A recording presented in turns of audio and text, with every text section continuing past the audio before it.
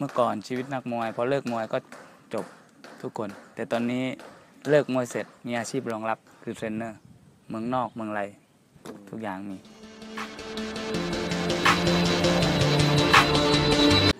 สวัสดีครับ ผมสกัดเพชรสอสมุนพันธ์ตอนนี้เป็นเทรนเนอร์อยู่ที่ภูเก็ต Fight Club เออผมชื่นชอบที่นี่นะครับ เพราะว่านักมวยทำนักมวยต่ออาชีพออกมาแล้วดูมีคุณภาพ คือทุกคนมันอยู่ที่การฟิตซ้อมนักมวยถึงจะมีชื่อเสียงหรือใจชนะที่เข้ามา อืมสก็ทีนี้ก็มีมวยแบบคนที่มาเที่ยวนะน้อยมากนะ อันนี้ตอนนี้ที่ขายนี่มีมวยมากกว่าเป็นมวยอาชีพ ชอบลุงไหนชอบป้าไหนมากกว่าผมชอบแบบมวยอาชีพมากกว่า ชอบเออแบบ beginner มันก็สอน ถือว่าสอนไม่ไม่ สอนง่าย ๆ แต่สำหรับนักมวยคือไปทดลองกันบนเวทีจริง ๆ จะได้รู้ถึงประสิทธิภาพของเทรนเนอร์ ชอบไหมมีมวยเด็ก มีมวยใหญ่ มีมวยเล็ก ชอบมากชอบอันไหนมากกว่า ก็ชอบชอบมวยมวยมวยใหญ่ แต่ว่าต้องต้องมีประสบการณ์ประสบการณ์มาแล้ว แต่สำหรับเด็กเราต้องเริ่มจากหนึ่งแต่สำหรับพวกที่มีประสบการณ์มาแล้วคือ เรามาถึงเราแก้ดัดแปลงแก้นิดๆหน่อยๆเสริมเทคนิคเข้าไป เพราะว่า สำหรับค่ายสิงห์ป่าตองแล้วก็ภูเก็ต Fight Club ตอนนี้ทุกอย่างคือการซ้อมแบบมวยไทยร้อยเปอร์เซ็นต์โดยไม่มีแบบ beginner แบบออกกำลังกายไม่มีที่นี่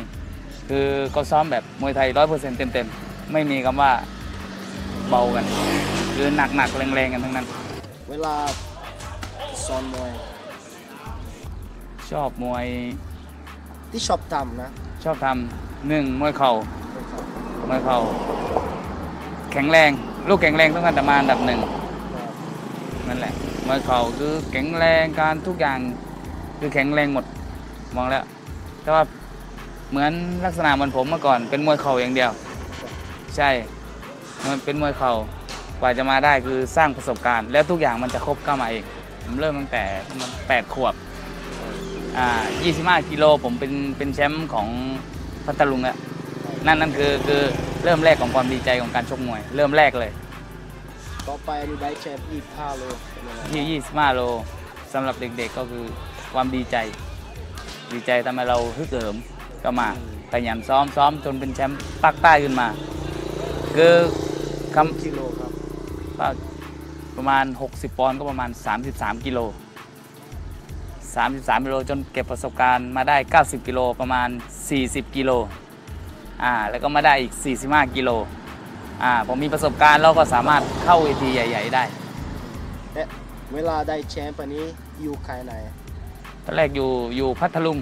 ค่ายสิบลูเชาค่ายบ้านนอกค่ายธรรมดามีกระสอบใบเดียว เวทีเล็กๆ แค่นั้น ก็พอสิบลูเชาจากจากบ้านนอก เราขึ้นไปกรุงเทพไปเริ่มไปเริ่มจากไม่เมืองคอน พอไม่เมืองคอนแล้วก็ไปอยู่สอสุพรรณอย่างเต็มตัวจดทะเบียนเป็นนักมวยเต็มตัว อยู่กับสอสุพรรณที่กาญจนบุรีแต่อยู่นั้นอยู่นนกี่ปีอยู่ 6 ปี 6 7 ปี ประสบความสำเร็จที่นั่น เป็นนักมวยเงินแสนที่นั่น จะเป็นยังไงชีวิตเปลี่ยนไหมถึงอันนี้เหมือนหนึ่งแสนอะเป็นยังไงบ้างพอเป็นมีชื่อเสียงคือเปลี่ยนการเงินครอบครัวดีขึ้น แล้วก็ การดูแลหัวหน้าค่ายจะดูแลเป็นดีเป็นพิเศษอืมเป็นยังไงบ้างอะปีนี้ก็ปีหน้าได้อยากทำอะไรที่หน้าก็ทำมวยนะครับ เพราะว่าตอนนี้มวยถือว่าเอาตัวรอดได้ถ้ามีต่างประเทศก็ไปเรื่อยๆไปไปๆกับกับแต่ว่าถ้าให้ไปอยู่แบบปีสองปีอย่างเนี้ยคงลำบากเพราะตอนนี้ผมรับราชการเป็นทหารอยู่ด้วยอืมต้องรายงานตัวผมเป็นเป็นโค้ชของทหาร สอนมวยมวยไทยสมัครเล่น มวยบราซิลทุกวันมันมันมีผสมกันไปนักมวยธรรมดา แต่ผมมองว่าทรงมวยของบราซิลดีคล้ายๆคนไทย ผมสังเกตประมาณ 90%ที่มาที่นี่ การยืนมวยทุกอย่างเหมือนคนไทย แต่แต่มันอาจจะไม่ร้อยเปอร์เซ็นต์เป็นอย่างนี้อ่าใช่ไหมเป็นอย่างนี้มันมีมันมีทุกคนคนไทยก็มี มันไม่มีแต่บราซิลหรอกคนไทยก็มี แต่ถ้าตัวไหนสู้สุดยอด คิดว่าคนไหนจะได้แชมป์ปีนี้ก็ปีหน้า ปีนี้ต้องโลโบผมคิดว่าอยู่อยู่ที่โปรโมเตอร์กรุงเทพอย่างเดียว อยู่อยู่ที่โปรโมเตอร์กรุงเทพอย่างเดียว ผมคิดว่าอ้อมน้อยราชดำเนิน ไม่ยากอย่างโลโบตอนนี้ผมให้ตัวเดียวก่อนโลโบ